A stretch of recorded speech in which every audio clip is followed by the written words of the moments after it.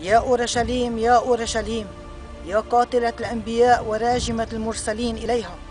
كم من مرة أردت أن أجمع بنيك كما تجمع الدجاجة فراخها تحت جناحيها فلم تريدوا هوذا بيتكم يترك لكم خرابا.